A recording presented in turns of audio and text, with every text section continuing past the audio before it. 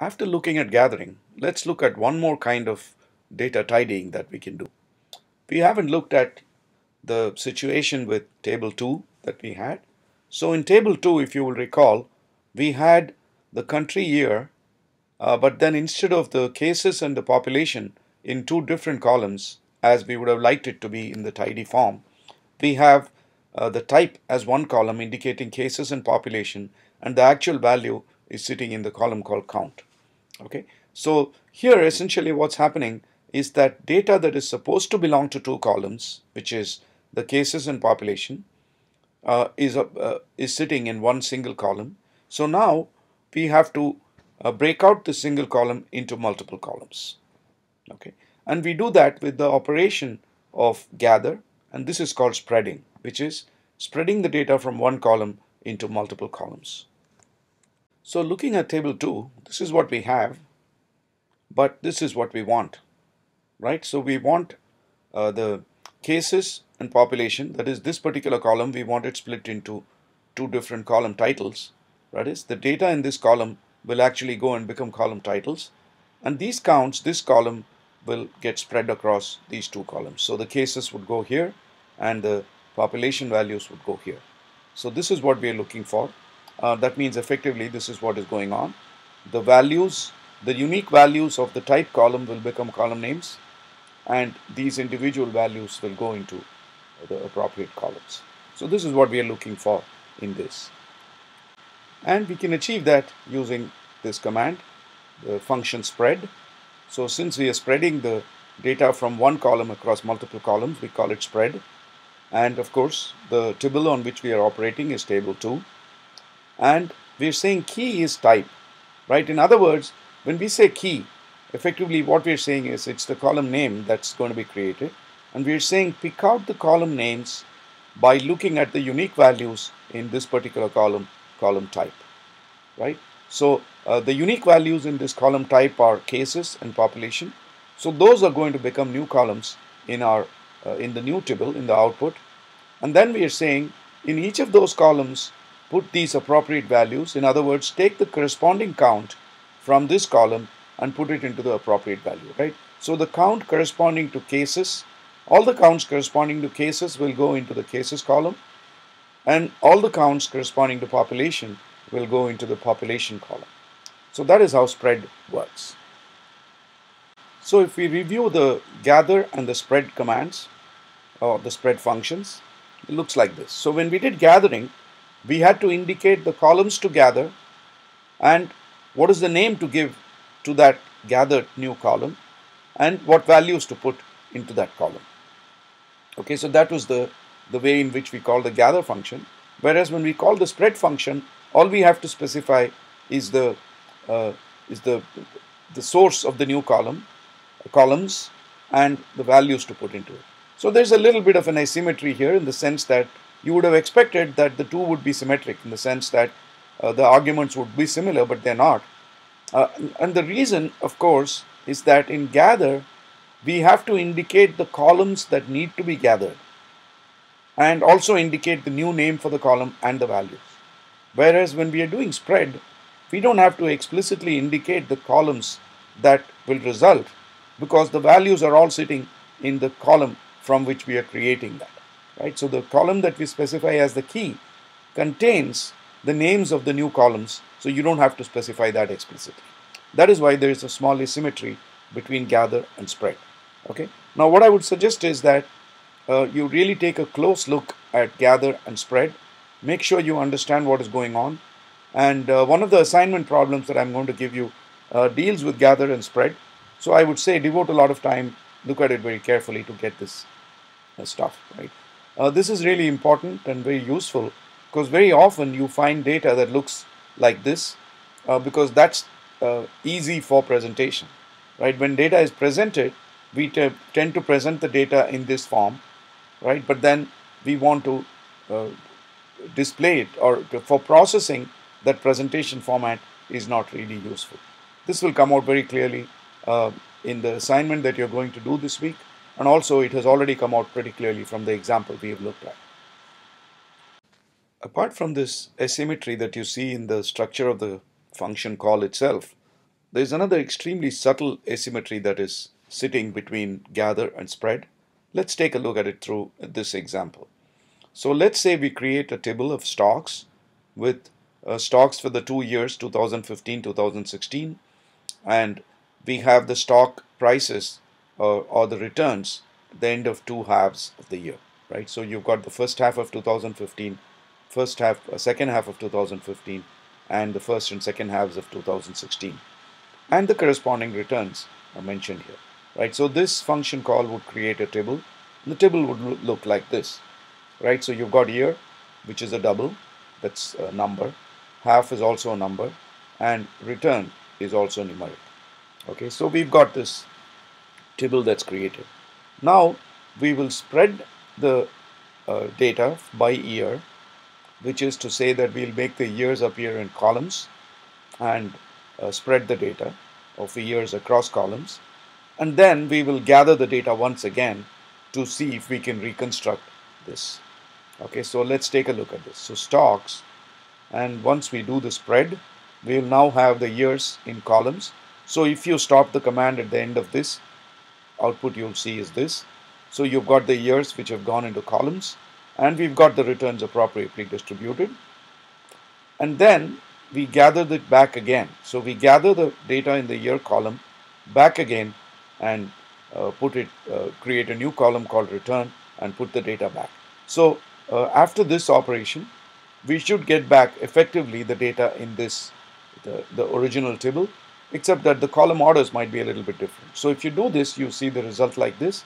So instead of the year column being first the half column has become first the year column is still here and the return is here. So for practical purposes this thing looks the same as what we started with. But there's a very subtle difference. If you look at the year column here originally it was double right? But then when we spread it out, the year values became column names, right? And because they became column names, they sort of took, became, became uh, character strings. So when we gather it back again, you see that uh, the values are now characters and not numbers. Okay, so that's one slight problem when you uh, when you do a gather, and if you happen to have the column names as numeric originally, then they'll come back as characters. Because anything that's a column name is a character. When gather happens again, uh, it tends to become a character. So that is something we need to watch out for and be a little careful. One more point.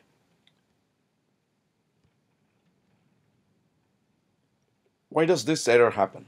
Right? Suppose we do table 4a, gather 1999-2000 key equals year, value equals cases. Okay, so I would suggest you run this code and take a look at uh, the error message you get which is this position must be between 0 and n and then try to explain what the error message is all about. Okay? So if you've uh, stopped the video and tried it out and you've got an explanation well the reason is that when we specify the columns for gathering we can either specify the columns by the column position or we can specify the columns by the column name. If you specify the columns by the column name, then of course column names have to be indicated uh, with the correct name. And the column names for these two columns is not just the number but when you have unusual column names with numbers you need to have the backticks right? So if you go back and look at the command we used earlier then these two things were uh, surrounded by backticks. Uh, here we don't have the backticks. So uh, the, the system is thinking that you're talking about column positions and obviously we don't have a table with uh, 2000 columns. So that's what's going on here. Okay, so if you have this particular table that you have here, spreading it fails. So I want you to think about why that is actually happening. Right, so what we're saying here is we've got uh, you know people's names, we've got the key which is age and height and uh, so on, and we've got the value. So for example, Philip Wood's age is 45, height is 186 then again age is 50 and so on and so on okay so if you run this the code will fail so we want you to think about why that code is actually failing okay so once again uh, copy the, uh, the, the, you, you already have the code So run the code, look at the error message and try to figure out what's going on, why the error is happening. Okay, so again, I would say uh, stop the video, think about it, come back and continue the video. Okay, so I assume you've stopped the video and come back and you've got an explanation. Uh, the reason, of course, is that when you spread a tribble like this, of course, you have to spread it uh, before the you'll see the error message. Here, this code is just creating it. So when you spread it, what you're saying is that for Philip Woods, you're going to have one age, one height. And for other people, uh, for every person, you're going to have one age and one height. Well, it so happens that Philip Woods has two ages, right? So the key is actually conflicting, and that is the source of the error message, right? So this command, if you run this, uh, this is the problem.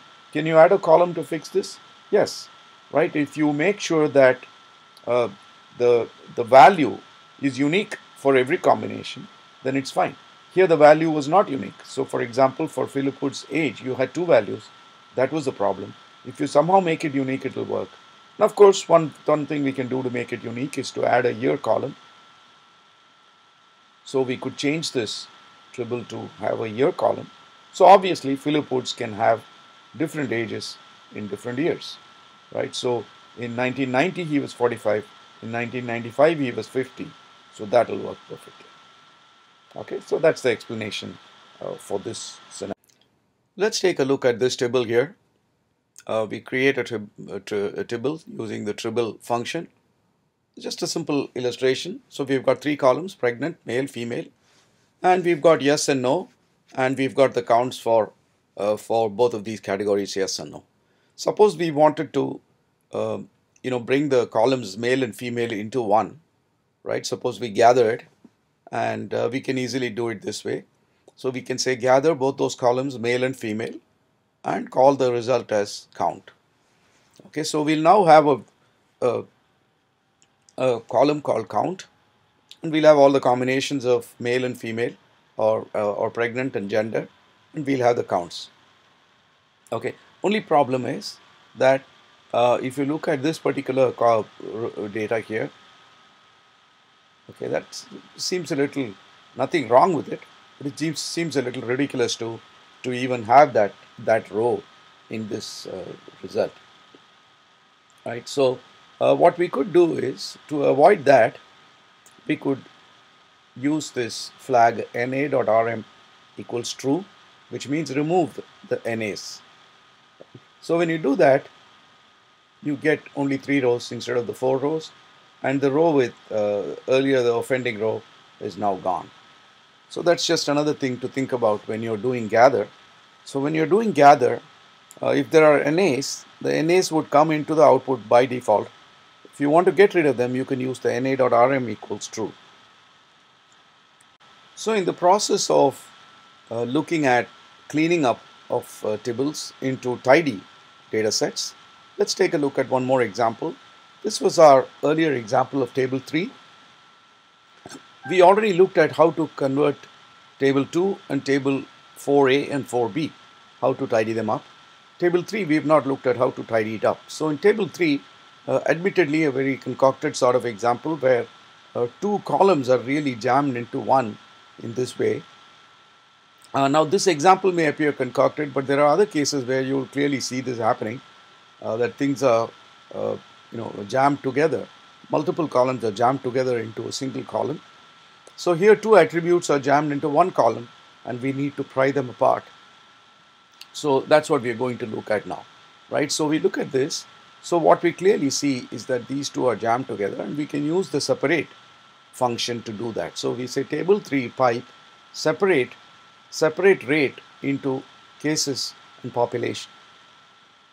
Now notice that when I said separate, I didn't have to tell it that this slash character is the one on which to perform the separation, right? So by default, when it does the separation, uh, when it finds certain kinds of uh, typical uh, delimiter characters, it uses them as separators. But of course, as you can imagine, we can also specify how to separate, meaning which character to use the separation. So when you do this, this is what you get. Uh, and of course, uh, when you're doing a separate, uh, the system cannot figure out uh, whether the resulting column is numeric or not numeric. I'm, I cannot say it cannot figure out, but it doesn't make any assumption about the fact that the resulting column should be numbers or whatever. It's up to us to make the change if we want. So right now what you have is two columns and both of those columns are actually uh, characters, character columns. They're not numeric. Of course, the, the source was also the character column. It has simply retained the, the type of the source column. That's all it did. So if you look at the transformation that has taken place, obviously what has happened is that uh, the two parts of this rate column have been split up and put into two separate columns as we can imagine.